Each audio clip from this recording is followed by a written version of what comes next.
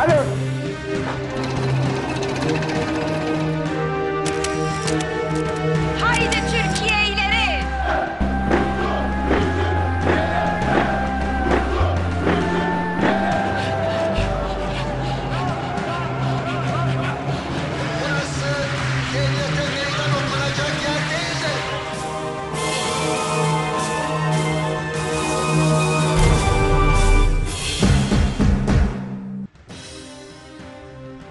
1996'ya girilirken aslında Türkiye'nin bir eksen değişikliğine girdiğinin de tüm işaretleri veriliyordu.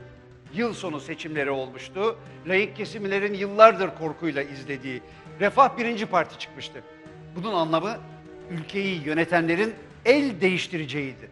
Seçim sonuçlarına bakılırsa 90'lı yıllara damgasını vuran koalisyon hükümetlerinin bir yenisi gelecekti. Ama bu kez siyaset oyununun as oyuncusu değişiyordu.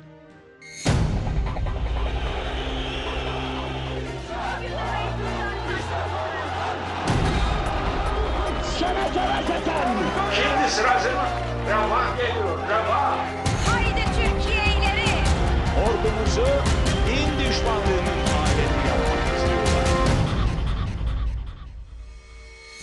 Yılın o son günlerinde 1995'i 1996'ya bağlayan günlerde genel seçimlerin şoku yaşanıyordu ama bir diğer şok gelişme Ege'de birdenbire filizleniverdi. Bugün geriye dönüp baktığımızda bize çok komik geliyor ancak Türkiye Yunanistan küçücük bir kayalığın kime ait olduğu tartışmaları nedeniyle kendilerini birdenbire bir savaşın eşiğinde buldular. Yunanistan'la müzakere ve pazarlık konusu yapalım. Biz oraya bayrak dikilmesi yeterli görmüyoruz.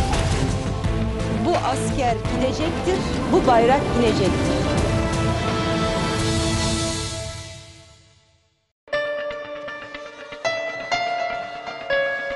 Refah seçimden birinci parti çıksa da yeni hükümet henüz kurulmamıştı Ankara'da başbakanlıkta Çiller vardı. Atina'da ise Simitis liderliğindeki hükümet henüz kurulmuştu. Türkçe adı Kardak. Yunanca adı İmya olan kayalıklar Ege'de Bodrum'un 4 mil açığında öylece duruyordu. Üstünde sadece keçilerin otladığı, kimsenin yaşamadığı daha da ilginci, kime ait olduğu o güne kadar hiç sorgulanmamış küçücük kayacıklar bunlar. Figen Akat adlı Türk teknesi kayalıklara çarpınca hiç yoktan dev bir kriz çıktı. Figen Akat'ın kaptanı Türk kurtarıcı istedi. Ancak bu parsayı kaçırmak istemeyen Yunan kurtarıcılar araya girdi ve hayır, burası bize ait, size ancak biz kurtarırız deyince olay uluslararası bir krize dönüştü. O güne kadar kimsenin yüzüne bakmadığı kayalıklar birdenbire kıymete bindi. Mesele Kardak krizi değil. Mesele Ege Denizi hakimiyetidir. Şimdi eğer Kardak adasının Yunanistan'a ait olduğunu Türkiye kabul ederse o zaman diğer adacıkların ve diğer kaya parçalarının da Yunanistan'a ait olduğu gibi bir netice çıkar. Osmanlı İmparatorluğu'ndan arta kalan her şey eğer tespit edilmemişse bir takım anlaşmalarla Türkiye'nindir. Türkiye'nin iddiası bu. Halefilikten gelen bir iddia. Yani. Şimdi Türkiye diyor ki bu, bu şeyler, kaya parçaları bizim. Yunanistan diyor ki hayır bunlar bizim. Olay duyulunca karşılıklı bir milliyetçilik yarışı başladı. Önce Yunanlı gençler kayalara kocaman bir bayrak diktiler. Yunan televizyonlarında İmya Yunanlıdır ve Yunanlı kalacak çığlıkları atılmaya başlandı. Ertesi gün bu gelişme Hürriyet gazetesinin sabah toplantısında konuşulurken ortaya bir öneri geldi. Sabah haber toplantısında bu konu e, gündeme geldi ve tamamen o anda gelişen bir e, yaklaşımda e, Uğur Cebeci'ye o zaman Doğan Haber Ajansı'nın genel müdürüydü ya da Hürriyet Haber Ajansı'nın genel müdürüydü. E, Onlar dikilse siz de dikin falan diye böyle bir gırgır yapıldı. Uğur Cebeci bu gırgırı ciddiye alarak ertesi gün oraya bir helikopter yollamış e, ve İzmir Büro'dan e, birkaç arkadaşımız Yunan bayrağını indirip Türk bayrağını dikmişler. Artık milliyetçilik yarışı başlamıştı bir kere. Kayalıklar birden iki ülke için bir namus meselesine dönüştü. Yunan donanması hemen bu bölgeyi kuşattı. Yunan askerleri Türk bayrağını indirip tekrar Yunan bayrağını dikince bu defa Ankara ayaklandı. Hem başbakan hem genelkurmay başkanı hem genelkurmay başkanının yanındaki e, generaller çok kararlı geldiler. Benim dediğimden de çok hoşlanmadılar. Sonra ben döndüm dedim ki bakın bu sebeple savaş çıkarsa bunu Türk milletine izah edemeyiz. Bugün ederiz. Ben, ama yarın edemeyiz. Ya bunun bir başka yolunu arasaydınız bu kadar şeye ne lüzum vardı derler. Dünyaya da izah edemeyiz. Gidin bir yol bulun. Bir yol bulun gelin. I knew very well that our government would never uh, give Ben çok iyi biliyordum ki bizim hükümetimiz ateş emrini veren ilk olmayacaktı ama. Türklerin ne yapabileceğini bilmiyordum. But I didn't know what the Turks would do. Türkiye'de durum çok karışıktı. Parlamentoda gerilim yüksekti ve skandallar vardı. Başbakan zayıf bir konumdaydı. Başbakan. Sayın Tansu Çiller. Uh,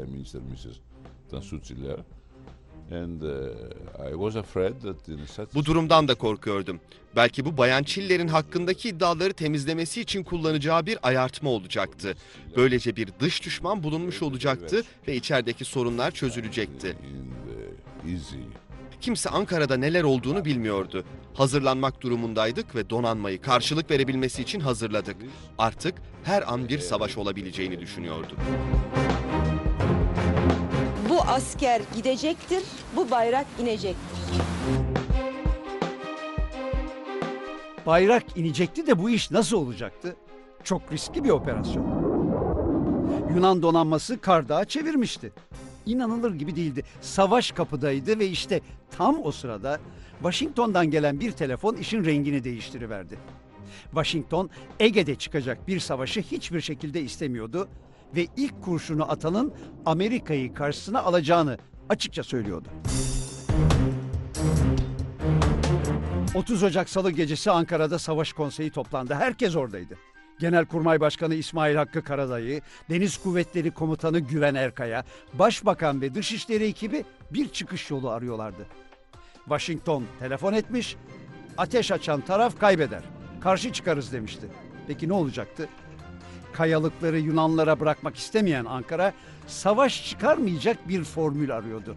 Ama bulunamıyordu. Zira Atina'da geri adım atmak istemiyordu. Ankara'daki Savaş Konseyi'nin en önemli anında Dışişleri Müsteşar Yardımcısı İnal Batu kimselerin aklına gelmeyen bir öneride bulundu. Dedim ki Sayın Başbakan, biz de ikinci adaya çıksak, o daha bilmiyor ikinci, ne ikinci adası dedi falan.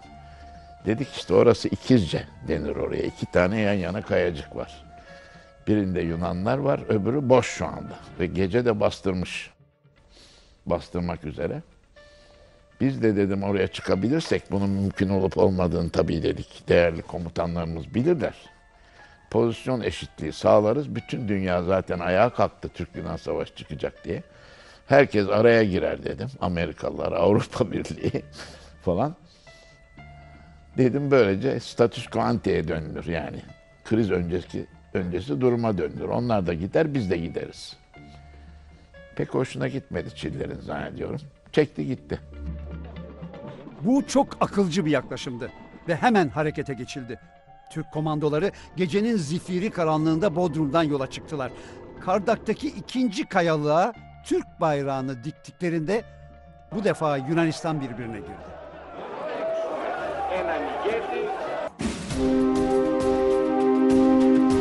Koskoca Yunan donanmasının burnunun dibinden geçen Türk komandoları yan kayalara yerleşince artık yapacak hiçbir şey yoktu. Yunan donanması müdahale edip ateş açsa bu defa sorumluluk onların olacaktı. Komandolar müdahaleyle karşılaşmadan kayalığa çıkıp bayrağımızı diktikten sonra operasyonun tamamlandığını bildirdi. Barış operasyonu yaklaşık 2 saatte tamamlanmıştı.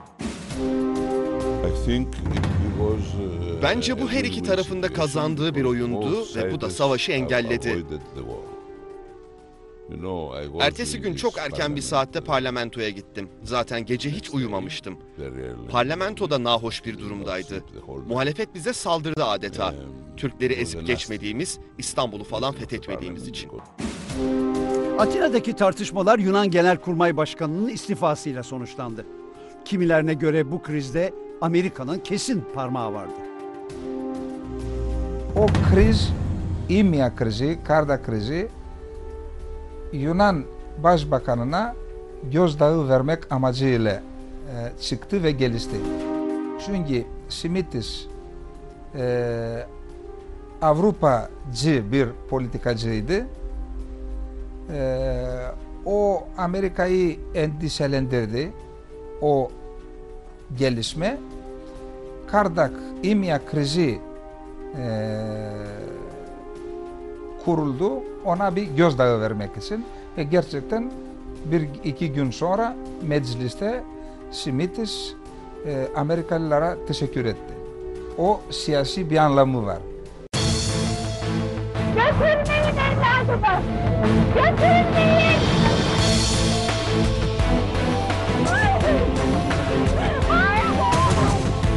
Avukatların kuyruğuna uyun.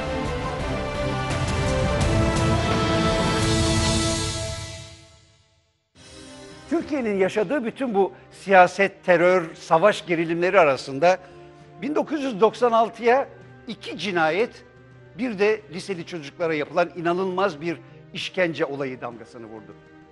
Bu üç olay simgeseldi. Onun için bunları seçtim. Bir yandan devletin gözünün artık hiçbir şey görmediğini, demir yumruğunu sadece PKK'ya değil, tüm sol örgütlere ve gerekirse rejime, sisteme ve resmi ideolojiye muhalefet eden istisnasız herkese vurmakta kararlı olduğunu gösteriyordu. Artık işin içine derin devlet de girmişti. Bu üç olay 28 Şubat'a giden yolun en önemli kilometre taşlarıydı. Götürmeyin evladımı.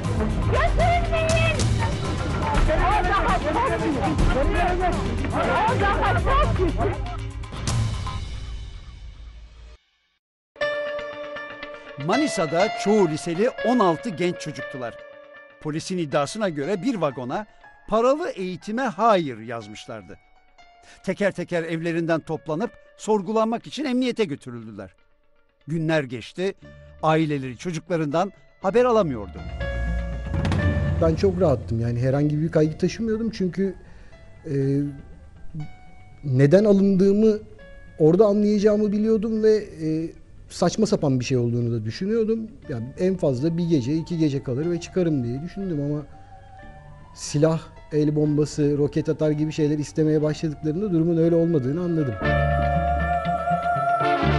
Olayın rengi kısa sürede değişiverdi. İş duvarlara slogan yazmaktan çıktı, Molotov kokteyli atmak ve yasa dışı örgütlere üye olmaya kadar getirildi. Önceleri hayır bunlar doğru değil dediler. Sonra işkence başladı. Çocuklara işkence yapıldığının tanığı da Manisa Emniyetinde o çocukların izini süren Cumhuriyet Halk Partisi milletvekili Sabri Ergül oldu. Ergül'ün karşılaştığı manzara korkunçtu. O koridorda birden gördüğüm bir manzara e, banklar var, gözleri bağlı, çıplak e, çocuklar. Şaşırdım ama ses devam ediyor, çığlık. Yani bu bir- böyle bir saniyenin içerisinde oluyor. Ben sese odaklanmışım. Ağlayanlar var. Oraya doğru yöneldim, onlar ayağa kalktılar. Çocuklar çok dayanamadılar. Polis ne istediyse kabul ettiler. Dev Sol adlı yasa dışı örgüte yardım, yataklık, üyelik. İşin ilginç yanı çocukların işkence altında verdikleri ifadeden başka bir delil veya tanık da yoktu.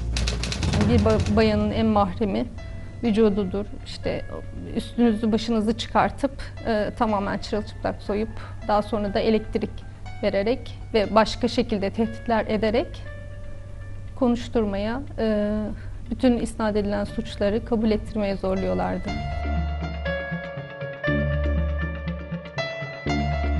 E, şubeye girdiğiniz zaman polis size işte elektrik veriyor, soğuk suya sokuyor, dövüyor, e, buza yatırıyor, her türlü şeyi yapıyor, eziyeti yapıyor.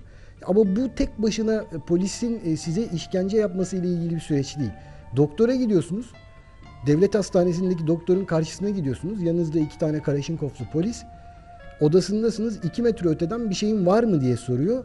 Ve diyebileceğiniz çok fazla bir şey olmuyor. Yani zaten oraya gitmeden önce bir tehdit ediliyorsunuz. Bak sakın bir şey söyleme. Çocukların durumunu anlatmak için. E, zapta geçmesi lazım. Ne diyor anlatıyor. Çırılçıplak soyuldular, şurada elektrik verdiler, kızlar, çocuklar ağlayarak anlatıyorlar. Tekrar yaşıyorlar onları. E, çocuğun birine de çıkardı. Dedi ki anlat bakalım. Anlatıyor, söyleyemiyor. Bir Anadolu çocuğunun 16-17 yaşında 20 yaş çocuğun, çocuğun poposuna anüsüne job sokulmuş anlatabilir mi? Bu olay hem Türkiye'de hem de uluslararası kamuoyunda müthiş yankı yaptı. Terörle mücadele adına 14 yaşındaki çocuklara işkenceyle suç kabul ettirilmesi sağcı ya da solcu, politik ya da apolitik kimsenin vicdanına sığmadı. Ancak mahkeme hiç oralı da olmadı. Hepsine ceza dağıttı. Levent Kılıç, Emrah Sait Erda, Aşkın Yeğenik, Türk Ceza Yasası'nın 168 Taksim 2, 3713 sayılı yasanın 5, Türk Ceza Yasası'nın 59 Taksim 2 maddesi uyarınca neticeden 12 yıl 6 ay hapis cezası ile cezalandırmalarına oy birliğiyle karar verildi. Eğer Yargıtay araya girmese, ifadeler işkence altında alınmıştır demese onlarca yıl hapis yatacaklardı. Ucu ucuna beraat ettiler.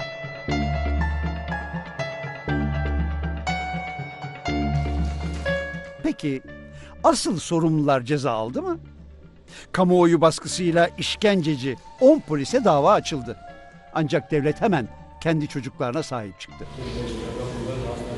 O dönemin en tipik uygulaması başlatıldı. Polisler bulunamıyor, tebligatlar yerine varmıyor ve devletin gizli eli işkence yaptırdığı polislerini koruyordu. Dava bu şekilde 8,5 yıl sürdü.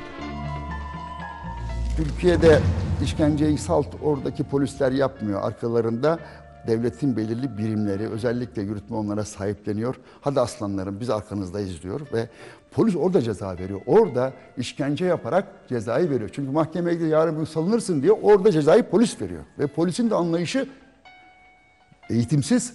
Bunlar katli vaciptir anlayışı. Sonunda işkence yapmaktan yargılanan 10 polis toplam 85 yıl ceza aldı.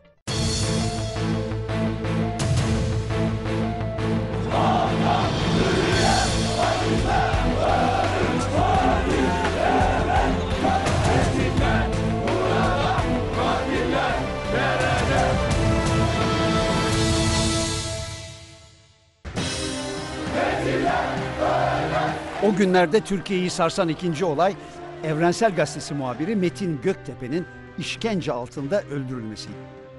Evrensel sol eğilimli EMEP'in, Emek Partisi'nin yayın organıydı. 27 yaşındaki Göktepe, Ümraniye E tipi cezaevindeki olaylarda öldürülen mahkumların cenazelerini izlemek isterken, sırf gazetesinin adından dolayı 1054 kişiyle birlikte gözaltına alındı. Birkaç gün sonra cesedi polisin ona işkence yaptığı Eyüp Spor Salonu'nun yakınlarındaki bir çukurda bulundu. Raporlar darbe ve dayak nedeniyle beyin kanaması ve iç kanamadan öldüğünü gösteriyordu. Kaburgaları kırıktı ve vücudu darp izleriyle doluydu. Metin'e defalarca defalarca vurulmuş ve Metin'in ölümü bir tek sebebe bağlı bir ölüm değil. Yani Metin e, beyin kanamasından ölmese doku iç kanamasından ölecek. Yani o, o, o kadar yoğun darp edilmiş durumda. Adli tıp raporu bunu kanıtlıyor. Polis en olmadık gerekçelerle kendini savunmaya kalktı. Önce gözaltına alınmadı zaten dendi. Sonra bir buçuk metrelik duvardan atlarken başını vurmuş gibi komik bir iddia ortaya atıldı. Gözaltına alınanları kamerayla tespit etmiş. O kameralara baktırdım arkadaşlara. Gözaltı listelerini incelettirdim. Kesinlikle gözaltına almış kaydı yok.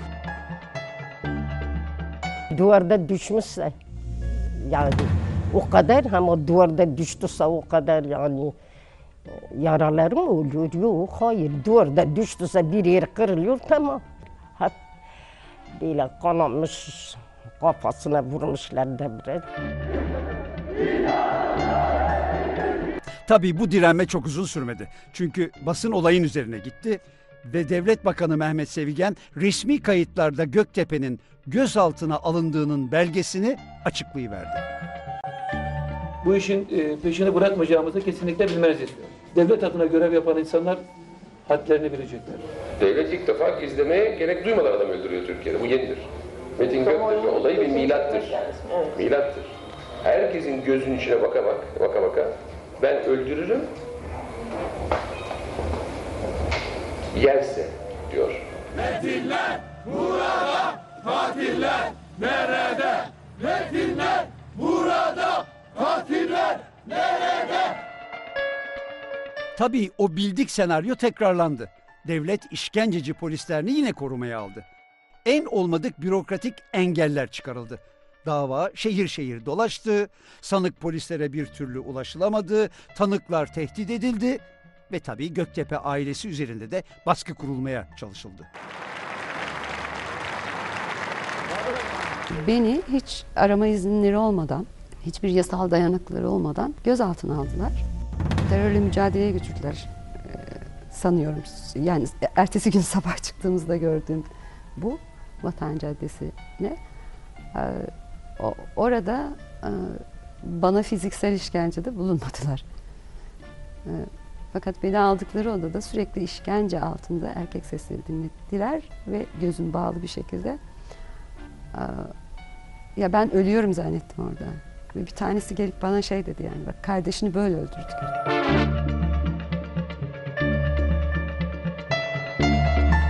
49 polisin yargılanmasıyla başlayan davada 5 polis 7 yıla mahkum oldu. Kısa sürede de serbest kaldılar. Her şeye rağmen basının ve kamuoyunun ısrarlı takibi Göktepe cinayetini faili meçhul bir dosya olmaktan son anda kurtarmıştı. Sabancı kardeşlerin en küçüğü Özdemir Sabancı, teröristlerin gerçekleştirdiği bir saldırı sonucu öldürüldü. Polis teröristlerin 7.65 milimetrelik silahı içeriden temin ettikleri ihtimali üzerinde duruyor.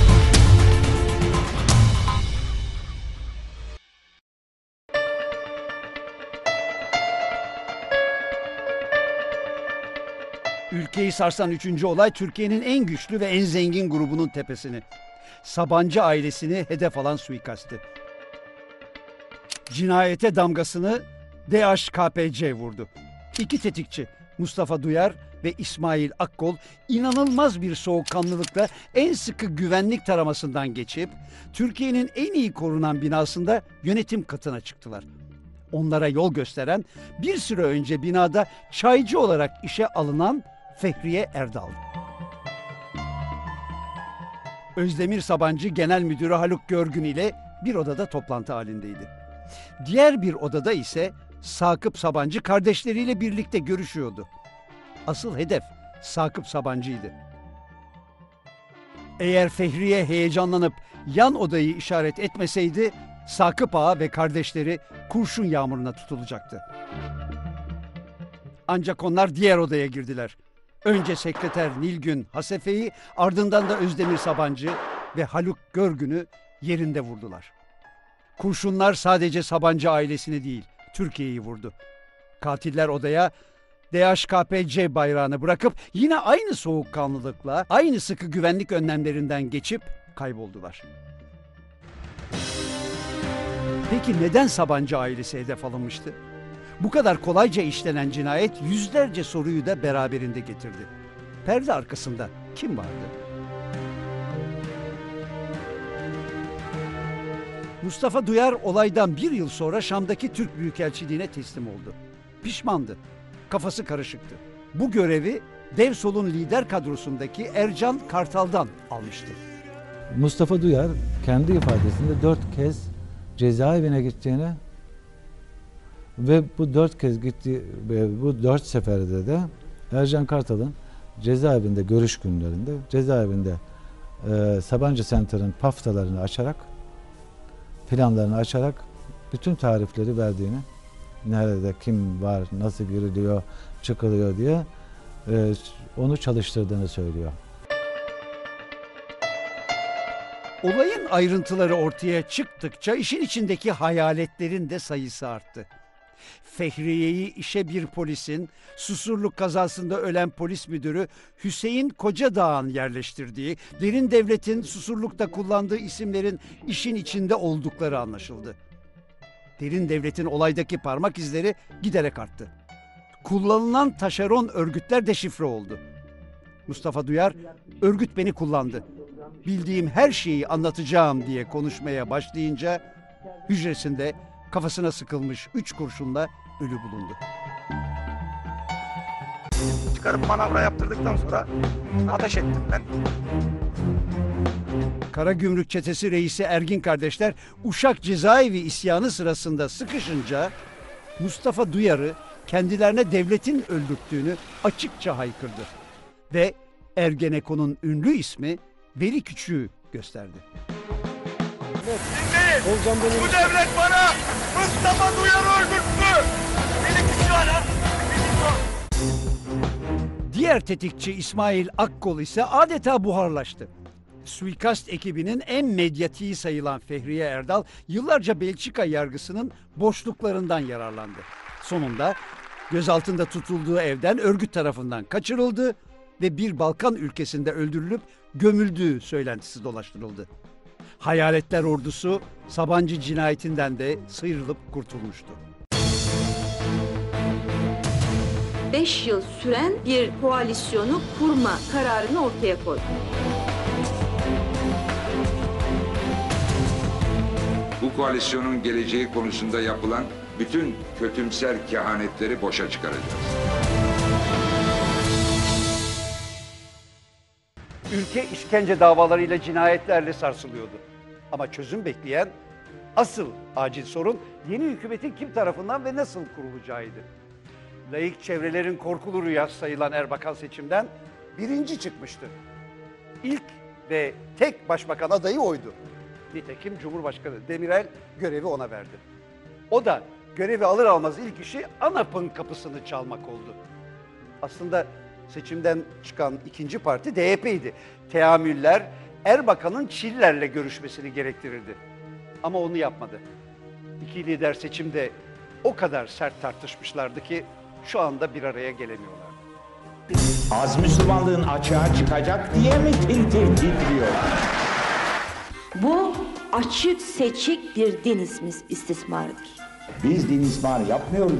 Sizin din düşmanlığınızla mücadele ediyoruz. Dosyalar düzenlemişler. Allah! Bak, bak. Bu asıl şefsizliğin ta kendisidir. Size tavsiyemiz tövbekar olun. Refah Partisi'nin içinde olduğu rejimin... Hadi oradan, hadi oradan, hadi oradan. Erbakan Mesut Yılmaz'la ANAP'ın tutucu kanadından Abdülkadir Aksu'nun evinde buluştu. Biz onunla baş başa kaldık. Sayın Erbakan, eee, bizim asıl yerimizin kendi yanları olduğunu bana anlatmaya başladı. Eee Anavatan Partisi'nin ve eee, rahmetli Özal'ın kendi arkadaşları olduğunu, daha önce kendileriyle birlikte siyaset yaptığını, eee, işte Türkiye'nin geleceğini de birlikte şekillendirmek istediklerini, eee, Refah Partisi'nin eee, bu seçimlerde birinci parti eee, çıkmakla kalmayacağını, zamanın devamlı kendilerinin lehine çalışacağını, zamanla işte Türkiye'de eee, tek parti konumuna geleceklerini, bizim de bu süreci görerek bir an önce eee, tavrımızı almamız gerektiğini eee, bana eee,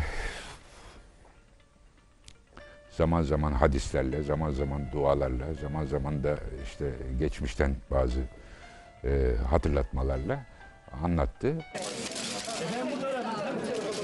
E, O görüşmemiz daha çok bir e, monolog şeklinde oldu. E, Sayın Erbakan konuştu, ben dinledim. Söylediği yeni bir unsur yoktu. E, söylediği şeylerin çoğu da benim için inandırıcı değildi. Ve sonunda Refah Partisi ile koalisyon yapmama kararını yine kendimiz aldık. Bu konuda hiçbir dış etken söz konusu değil. Ha e, toplumdan bize baskılar gelmedi mi? Geldi. Hatta benim evden e, evin içinden geldi. E, Eşim çok şiddetle buna karşıydı. Ee, hatta yarı şaka yarı ciddi işte e, gazetelere de beyanatları çıktı. Refah Partisi ile koalisyon yaparsan beni unutursun falan gibi böyle e, basının sevdiği sansasyonel e, manşetler atıldı. Bu ilk deneme sonuç vermedi. Erbakan diğer parti liderlerini de dolaştı ancak kimse onunla bir koalisyonda görünmek istemiyordu. Sanki gizli bir el direnişi organize ediyordu. Erbakan çaresiz görevi iade etti. Cumhurbaşkanı da bu defa Tansu Çiller'i görevlendirdi. O zaman için genellikle eğilim dendi ki biz Refah Partisi koalisyon yapamayız, ANAP'la yapmalıyız. Hatta arkadaşların çoğunun kafasında da, düşüncesinde de ben de dahildim bunlara. Anavatan Partisi, Doğu Yol Partisi bir koalisyon yaparsa, belli bir süreçte bu koalisyon başarılı olursa iki partinin bütünleşmesini de belki sağlayabiliriz. Kamuoyunun bir bölümü, iş çevreleri ve merkez medyanın ideali iki merkez partisinin birleşmesiydi. Aralarında hiçbir ideolojik ayrılık yoktu. DYP ile ANAP'ın koalisyonu refah korkusunu dağıtacaktı. Ancak işte orada da müthiş bir kişisel rekabet ortaya çıkıverdi. Daha ilk adımda kimin başbakan olacağı konusunda kavga beliriverdi. Her öneriyi görüşmeye açığım ama e, Sayın Çiller uzlaşmacılığını, samimiyetini ortaya koymak için bana gelirken kendisinin başbakan olmadığı bir tane öneriyle gelsin. Anavatan'la Doğru Yol Partisi bir araya gelecekse hak Doğru Yol Partisi. Tansu Çiller de başaramadı. Ve bu defa turnike oyunu gibi sıra Mesut Yılmaz'a geldi. Haftalar geçiyor ve Türkiye hükümetsiz yaşıyordu. En önemli sorun yine aynıydı. Refahsız bir koalisyon kurulması. Oysa hala en güçlü koalisyon adayı Refah idi. Mesut Yılmaz da Erbakan ile tekrar görüşmeye hazırlanıyordu ama tam o sırada dönemin meclis başkanı Mustafa Kalemli'ye Genelkurmay Başkanı'ndan bir telefon geldi. Sayın Başkan, bu koalisyon kurulursa dedi, yani Refah ANAP koalisyonunu kastediyor. Çok üzüleceğimiz olaylardan endişe ederim dedi. Meclis başkanı olarak üstünüze bir görev düşüyorsa yapın efendim dedi. Direkt bu kadar. Ama şöyle yaparım, asarım, keserim falan filan lafları değil. Çok nazik. Yani üzüleceğimiz hadiseler olabilir. Bunun önlemenin bir yolu varsa, üstünüze bir görev düşüyorsa yapın bunu. Bu mesaj çok netti. Kalemli hemen Mesut Yılmaz'ı aradı ve Genelkurmay Başkanı'nın sözlerini tekrarladı. ANAP liderinin yapacak fazla bir şeyi yoktu. Ağır güçler Mesut Yılmaz'ı Tansu Çiller'le ana yol koalisyonuna itiyordu. Evden Mesut Bey aradım. Tansu Hanım'la son bir kere daha e, görüşmemi rica ettiler. Bana son bir iyilik daha yap şeklinde bir cümleler olunca e, doğrusu kaçamadım o görevden. Tansu Hanım'la görüştüm. Oldukça gergindi. Son derece sinirliydi, huzursuzdu. Dedi ki çok üstüme geliyorsunuz dedi. Her fedakarlık benden isteniyor dedi. Biraz önce de Sayın Karadayı Paşa geldi dedi. Ben orada anladım ki benim düşüncemin aksine yani Genelkurmay Başkanı belki başka birisini bir mesaj iletmek üzere gönderebilir diye düşünmeme rağmen kendisi gitmiş. Her şey ortada. Türkiye'de Refah Partisi'nin öncülüğünde kurulacak bir hükümetten başka çözüm yok, başka çare de yok. Ana yol filan bunlar abesle iştigaldir. Ne mümkündür ne de bir sonucu vardır. Tabii Tansu Çiller'e ana yol için baskı yapanlar sadece askerler değildi. Çok telkin oldu. Yani ben yani şu kadarını söyleyeyim. Ben öyle bir şey konuşmadım ama e, kendisine e, gazetelerden de patronlar düzeyinde de e, bu telkinlerin yapıldığını çok iyi biliyorum. Sonunda biraz zorla, biraz kerhen ana yol koalisyonu doğdu. Dönüşümlü başkanlık formülüyle önce Yılmaz, sonra Çiller hükümet edeceklerdi. Ecevit'in DSP'si de dışarıdan destek verince herkes derin bir nefes aldı. Artık tehlike atlatılmıştı. Oysa Mesut Yılmaz ve Tansu Çiller bir süre sonra gömdükleri baltalarını çıkarıverdiler. Birbirlerinden nefret ettikleri ekranlarda bile açıkça görülüyordu. Tabii Refah da kendinin devre dışı bırakılmasını kaldıramamış, o da tam gücüyle bastırmaya başlamıştı. Şimdi Çiller hanımefendinin bir tek partiyle bir şeyi konuşacak mecali kalmamıştır.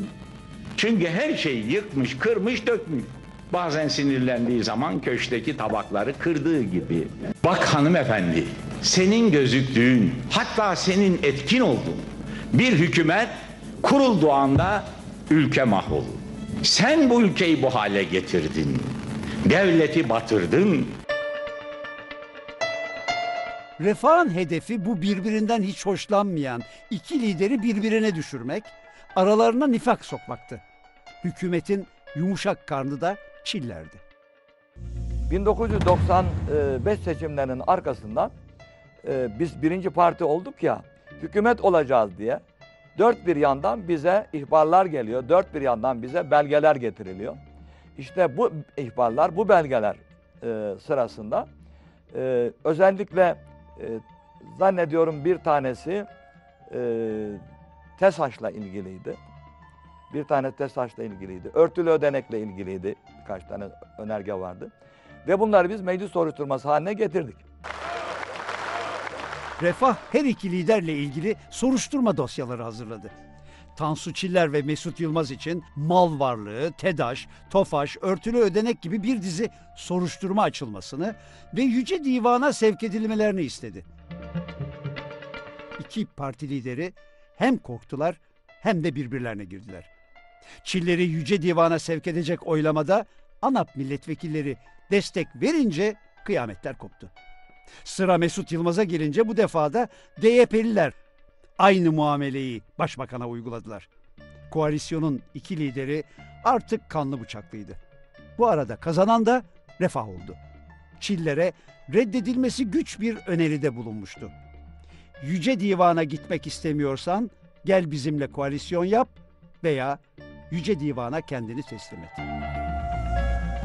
Anavatan Partisi grubu içerisinde e, geçmişte bu konuların e, gündeme getiren, Çiller'in e, adeta e, hafiyeliğini yapan, e, onunla ilgili belgeler e, toplayan arkadaşlarımız vardı. Onlar ısrarla e, bu konunun e, koalisyon ortaklığının dışında bir konu olduğunu, siyasi ahlak e, konusunda koalisyon nedeniyle taviz verilemeyeceğini, e, dolayısıyla e, meclis denetiminin e, koalisyon mülahazasıyla akamete uğratılmaması gerektiğini açıkça dile getirdiler. Ve doğrusu beni de etkilediler. Yani ben de bu konuda hakikaten bunların ayrı konular olmasını, siyasette devletin belli görevlerini, belli sorumluluklarını üstlenen herkesin konumu ne olursa olsun her zaman bunun hesabını vermek durumunda olduğuna inanan birisi olarak bu mesele, iki meseleyi birbirinden ayırmak gerektiğini düşündüm. Sayın Çiller tabii buna çok büyük tepki gösterdi. E, O zaman koalisyon biter dedi. Ben de biterse biter dedim. Çok nahoş bir görüşmemiz oldu başbakanlık konusunda. Tansu Hanım'ı e, gelecek korkusu aldı. Yüce Divan korkusu sardı. Bu mal varlığı ile ilgili e, mutlaka Yüce Divan'a gideceğini, e, Mesut Bey'in onu Yüce Divan'a götürmekte kararlı olduğunu, bu korku sardı onu. Sonra bu korku ona yanlışlar yaptırdı. Sonra da aynı korkuyu herhalde Mesut Bey'e sardı tahmin ediyorum. Güven oylaması sakattı. Bunu fark eden sadece biz olduk. Anayasa Mahkemesi'ne iptal davası açtık. Bu iptal davası devam ederken Mesut Yılmaz'la Tansu Çiller arasında e, bir savaş başladı. Bir iç savaş başladı. Ve artık ikisinin bir arada olamayacakları gün gibi. İşte onu fark edince biz alt, e, Doğru Yol Partisi yetkilileriyle görüşmeler yapmaya başladık. Merkez sağın iki partisi hükümette de e, kavga etmeye başlamışlardı. Ve dolayısıyla e, Sayın Yılmaz'ın oradaki hedefi işte Doğru Yol Partisi'ni de ele geçirmek veya e, bu birliktelik olursa benim başkanlığımda olsun şeklinde ve bunun dışında da İşte e, Refah'la, Refah Partisi ile o zaman diyaloğu başlattı. İki büyük merkez partisinin layık Türkiye'yi sakin sularda yönetmesi rüyası 3 ay içinde çöktü. Çiller Yüce Divan'a gitmemeye, Yılmaz da hükümeti bozmaya kararlıydı. Benim yapmam gereken Sayın Cumhurbaşkanı'na çıkıp hükümetimizin istifasını Sayın Cumhurbaşkanı'na sunmak. Başbakan olan Sayın Mesut Yılmaz'a dedim ki anayasadaki bir müesseseye başvur. Nedir bu? Görev sırasında güven oyu iste. O zaman güven oyu sayısı var. Mesut Bey istemedi. Anladım ki koalisyonu bozmaya o zamandan niyet kurmuş. Anayasa Mahkemesi Refah Partisi'nin e, gerekçesini ve açtığı davayı haklı buldu. Ana yol hükümetinin güven oyu almadığına karar verdi. Böylece o hükümet düştü. De Sayın Yarından sonra birleşme olduğu takdirde kim lider olacak? Yahut da merkez sağın lideri kim olacak? Huzursuzluğu ki bu maalesef Sayın Mesut Yılmaz'da oldu. Tabii bir takım ortaya e, Tofaşlı vesaire gibi bir takım önergeler sonra arkasından olmadı artık şey. Ayrıldık.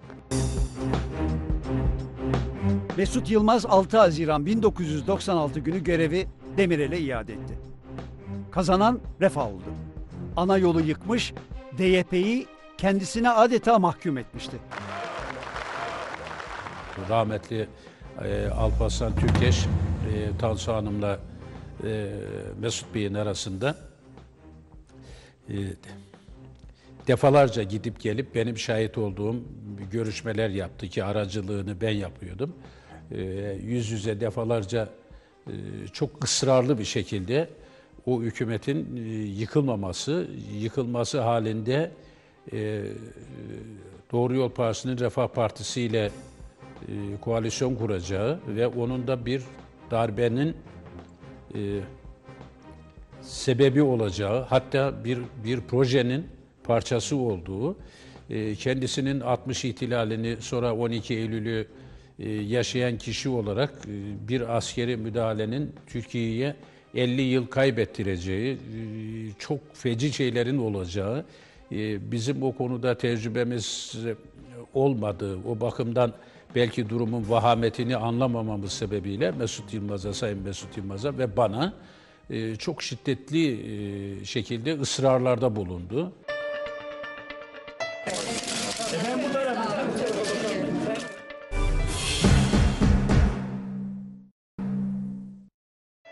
Erbakan'ın ikinci kez hükümeti kurma görevi alıp Çiller'le masaya oturması layık kesimdeki karamsarlığı müthiş arttırdı. Erbakan Çiller koalisyonunun tarihi bir layık dindar uzlaşısı olacağını söyleyenler vardı. Ama bu koalisyonun Türkiye'yi karanlıklara götüreceğini iddia edenlerdi. Kışlalar, medya ve üniversiteler diken üstündeydi.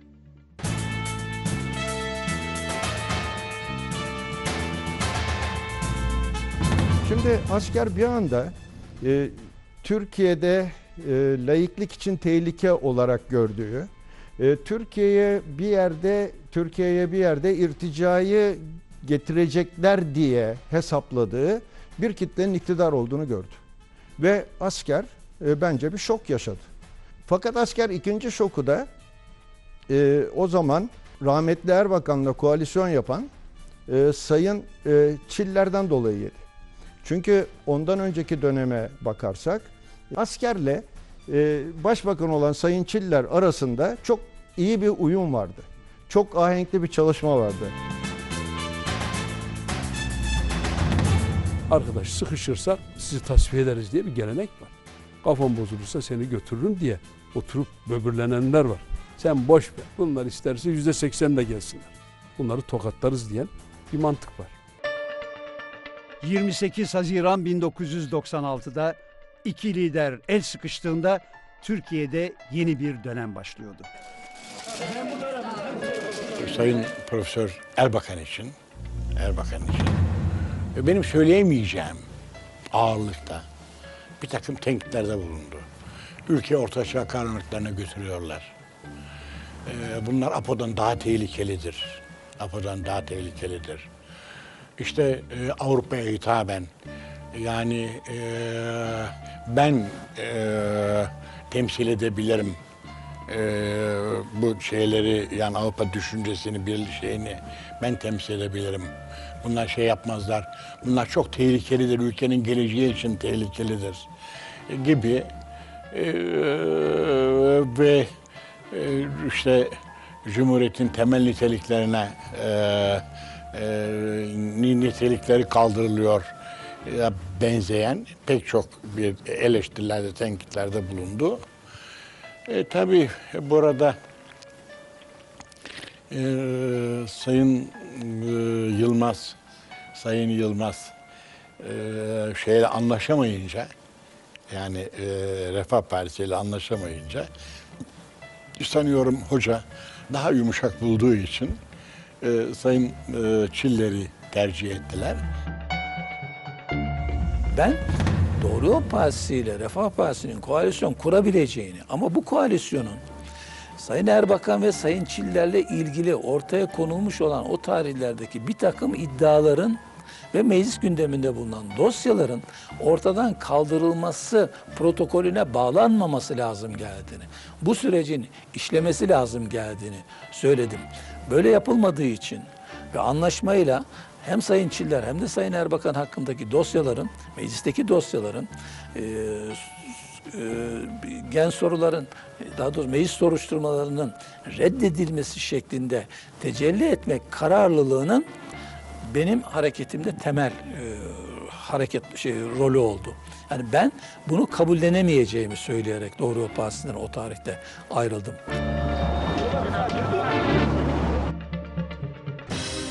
İşkence, cinayetler, suikastler, savaş tehlikesi ve siyasi oyunlar. 1996'nın ilk yarısında Türkiye işte bunları yaşadı. Refah iktidara ortak olmuştu. Ben de varım diyordu. Asker ise süngülerini çekmişti. Artık 28 Şubat'a doğru tüm hızıyla önü alınamayan bir koşu başlamıştı.